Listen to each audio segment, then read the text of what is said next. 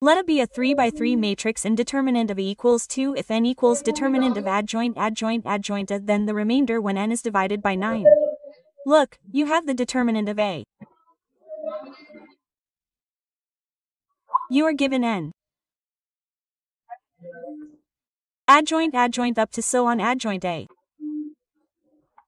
What is this adjoint? It is 24 times. What do you have to do? You have to find the value of this n.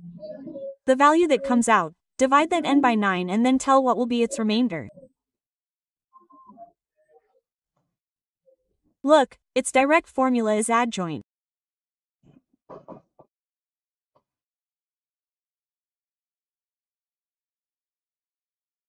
Look, adjoint adjoint A.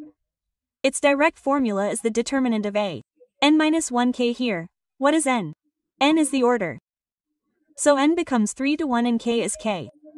How many times is this? It is k. 2024 so you write this as the determinant of a 3122 to the power 2024 and the determinant of a is given to us as 2. Now by what do you have to divide it? You have to divide it by n. You have to divide it by 9. So what do you have to do? You have to find n, 9. To solve 2 to the power 2024 or to the power 9, first divide the power by 9. 2 to the power 2024 is right. This is to the power, divide it by 9.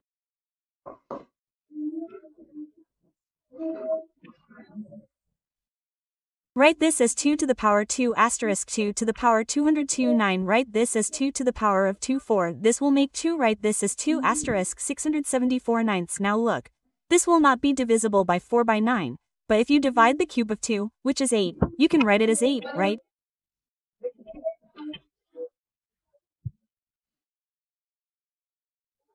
Divide 8 by 9, 9 times 1 equals 9 then the remainder will be minus 1.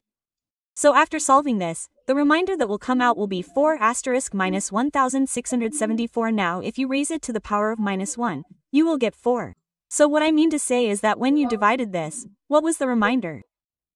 4 came out. So when you divided the power, the remainder came out to be 4. So 2 to the power 4 ninths becomes 16 ninths now if you divide 16 by 9, the remainder will come out to be from. See how, if you divide 16 by 9, what will be the remainder? From and from is our answer.